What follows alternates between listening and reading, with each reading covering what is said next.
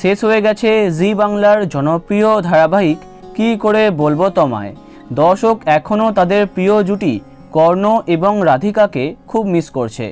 কর্ণ মানে কুশল, হিন্দি ধারাবাহিকে কামব্যাক করলেও রাধিকা মানে স্বস্তিকার কোনো খবর পাওয়া যায়নি। কী করে বলব তোমায় শেষ হবার সময় ভাষা ভাষা খবর সামনে এসেছিল, যে স্বস্তিকা খুব শীঘ্রই ফিরবেন টেলিভিশনে। তবে অনেক দিন হলো তার কামব্যাকের কোনো খবর জানা যায়নি। অবশেষে দারুণ খবর সামনে এলো। কামব্যাক করছেন স্বস্তিকা দত্ত, তবে ধারাবাহিকে নয়। এতদিন তাকে আমরা টেলিভিশনে দেখেছি। এছাড়াও কিছু বাংলা ছবিতেও তিনি ছিলেন।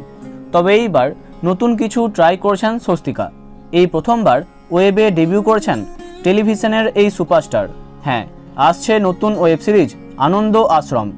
এখানে অভিনেত্রীর চরিত্রের নাম তিথি। ভয়, সাসপেন্স নিয়ে তৈরি এই গল্পে থাকছে অনেক রহস্য।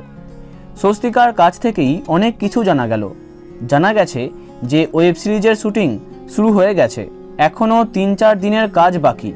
কোন ওটিটি প্ল্যাটফর্মে এটা মুক্তি পাবে সেই বিষয়ে এখনও কিছু ঠিক হয়নি। তবে এই ওয়েব সিরিজে স্বস্তিকার সঙ্গে থাকছেন আরও এক জনপ্রিয় টেলি অভিনেতা যাকে বর্তমানে অনেক ধারাবাহিকে দেখা যাচ্ছে। তিনি হলেন জনপ্রিয় টেলি অভিনেতা প্রান্তিক ব্যানার্জি। বর্তমানে তারা বেশ মজা করে শুটিং করছেন। সোশ্যাল মিডিয়াতে তার কিছু ঝলক দেখা যাচ্ছে। তাহলে খুব শীঘ্রই আসছে আনন্দ আশ্রম।